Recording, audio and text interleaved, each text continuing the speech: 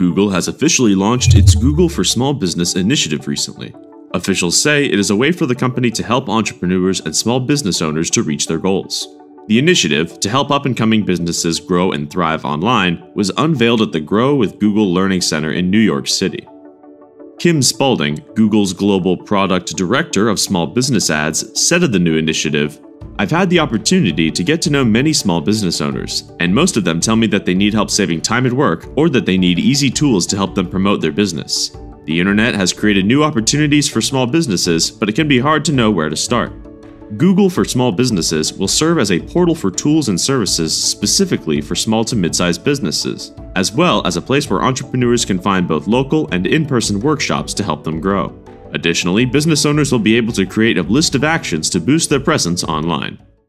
Visit TechFunnel.com for other stories related to the MarTech industry. Connect with us on Facebook, Twitter, LinkedIn, and Instagram.